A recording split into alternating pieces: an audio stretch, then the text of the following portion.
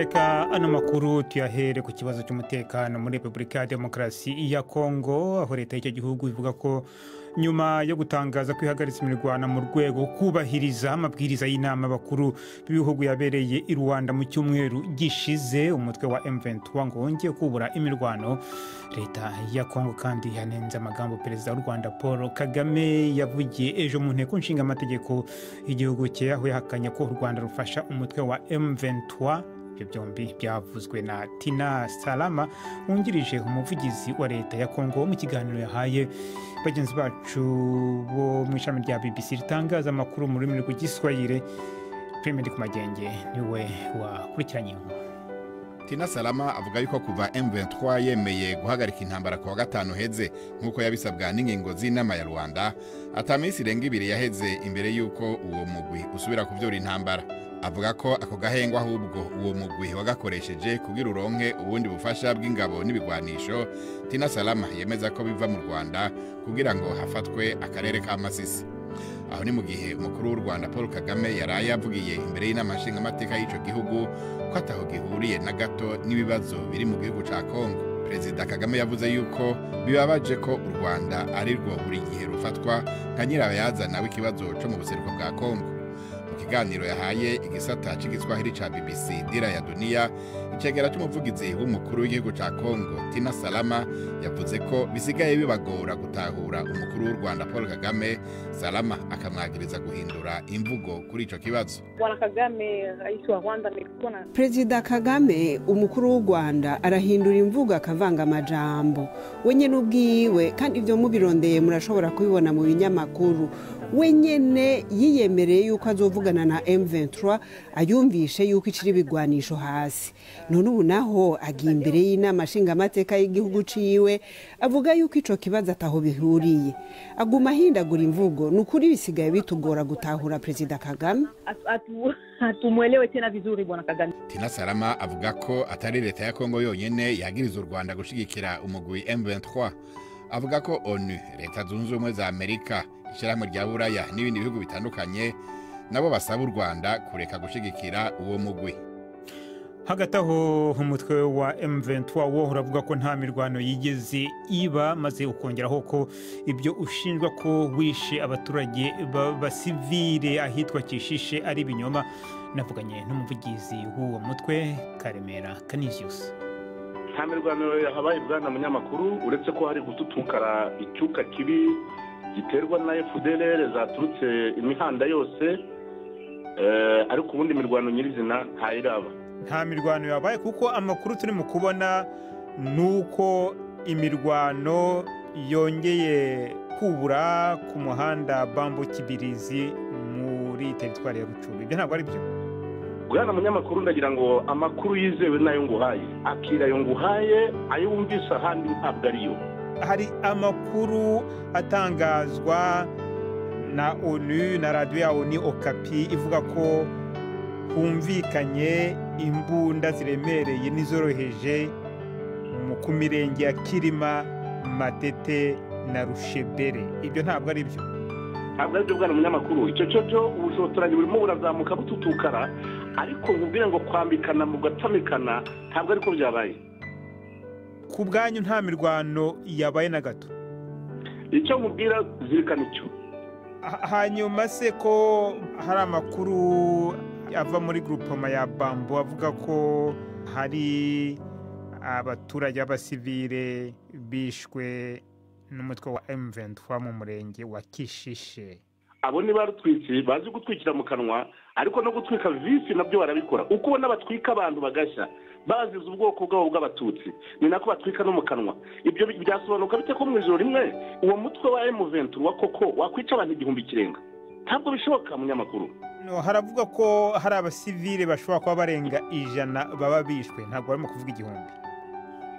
Ibyo bavuga ni ikinyoma cyambaye ubusa. Abo bantu bishwe nande? Ntawapfuye ariko. Hanyuma hano hantu hitwa kishishe mwari mwarambuwe. Ubu ninde uhagenzura? Ah, icyo gice cyose kiri mu maboko yacu. Ariko nkubwire ngo izo mfu ntabwo izo mfu bahavuga ntazihari rwose. Biravugwa ko amakuru atugeraho aravuga ko hano kishishe mwahigaruriye ejo hanyuma mugatangiza ibikorwa byo guhumbahumba ingabo za z'aho muhanganye zari zihari ariko ntihagire n'umusivire musiga inyuma. Bwana munyamakuru. Nyuma rwose nzirikana ko ibyo nkubwiye kwica ari ikinyoma. Aho hantu twahafashe kuva itangazo rya rwanda ritarasohoka. Aho rimariye gusohokera mu rwego rwo gushyira mu bikorwa ibyemezo by'abakuru b'ibihugu twahagaritse intwaro hasi. Kuko ni ibyo kugira ngo bavuge ngo twubuye imirwano ni nko kutugerekaho icyo cya ngo bavuga ati twishe abantu ijana ijana rirenga. Icyo ni ikinyoma cyambaye ubusa. Karemera kaniziyusi umuvugizi wa M23. Dukomereze hano makuru mu gihugu cya Espagne. Minisitiri w'ingabo w'icyo gihugu Margarita Robles yavuze ko nta dupfunyika twoherezwa abantu twatezwemo igisasu cyangwa se igikorwa icyo ari cyo cyose cy'urugomo kizaca igihugu cye mu gutera inkunga igihugu cya Ukraine. Ibi yabivuze nyuma yaho agapfunyika gatezwemo igisasu kagira gatandatu kabonekeye muri Espagne kakaba kahagarikiwe kuri ambasade ya Amerika i Madrid. Ejo kuwa gatatu agapfunyika kari kagenewe uhagarariye Ukraine muri Espagne karahiye maze gakomeretsa umukozi wa ambasade. Mu mabaruwa hakekwamo gutegwamo ibisasu harimo yahagarikiwe ku ruganda rwohereza intwaro muri Ukraine mu gihe indi yo mu cyumweru gishize yari igenewe minisitiri w'intebe wa Espagne Pedro Sanchez. Minisiteri y'ubutegetsi bw'igihugu muri Espagne iravuga ko hari andi mabaruwa asa nk'ayo yari mu ruvange rw'ibintu bishobora guturika kandi amaperereza y'ibanze ngo arerekana ko ayo mabaruwa ashobora kuba yoherezwa n'abantu bari muri Espagne. Imbere y'iradiyo mwumva ni BBC gahuza miryango muradukurikira kandi kuri Kisoro FM mu majyepfo ya Uganda.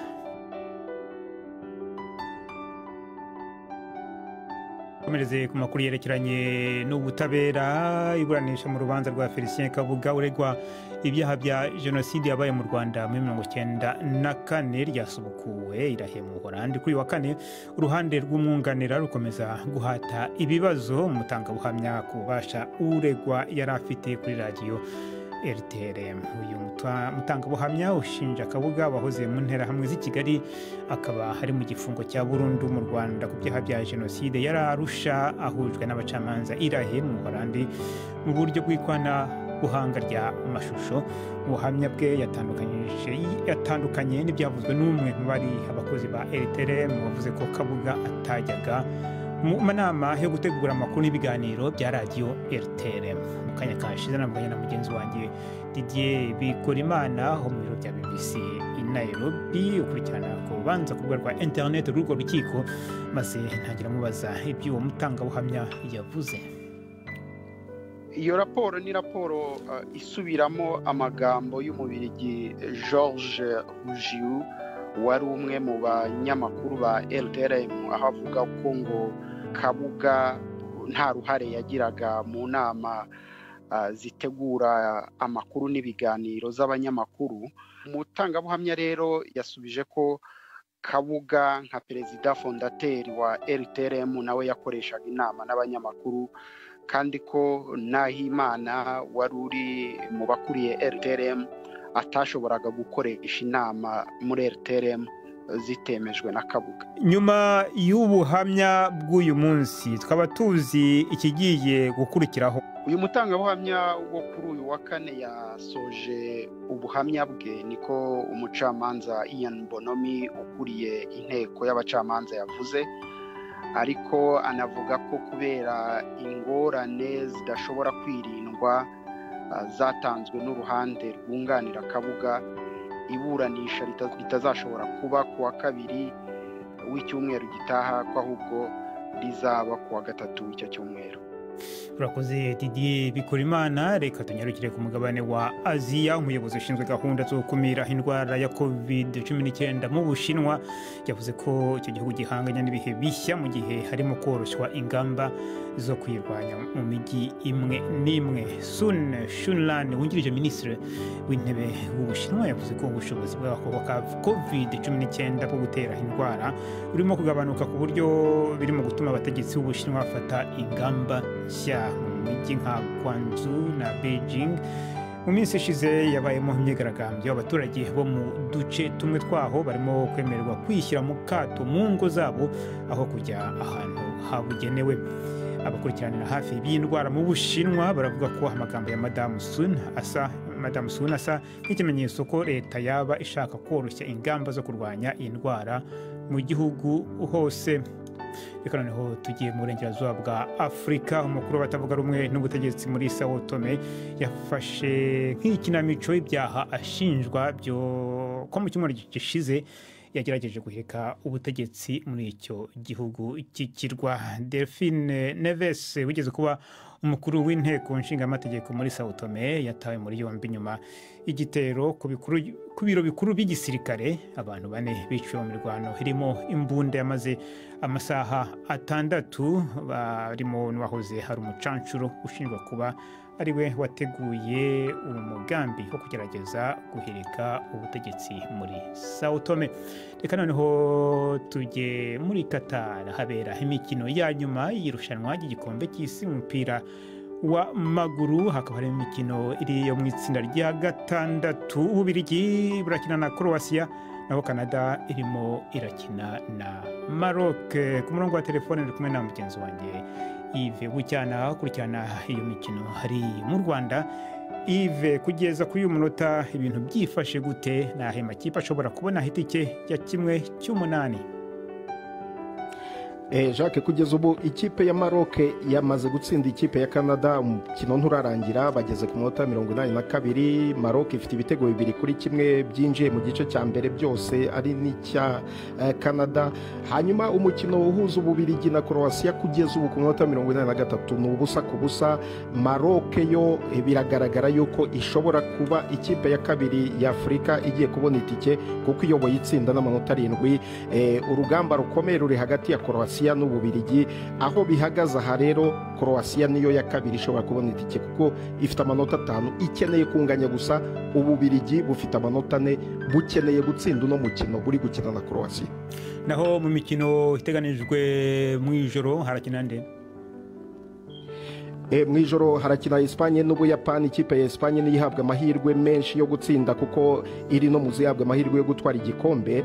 Espanye ikeneye kunganya byibuze ikabona itike ya kimwe cy'umunani. Ubudage burakina na Croatia. Keretse habaye ikintu kidasanzwe naho ubundi Ubudage bwagombye gutsinda uno mukino kuko niyo nzira yonyine yo kubugeza muri kimwe cy'umunani. Ariko nabwo bigasaba ko Ubuyapani budatsinda Espanye waravuze ko ubudage buhura na croatia ngira ngo croatia irimo irakina n'ububirigi. Ubudage burakina na Costa Rica. Murakoze cyane ive bucyana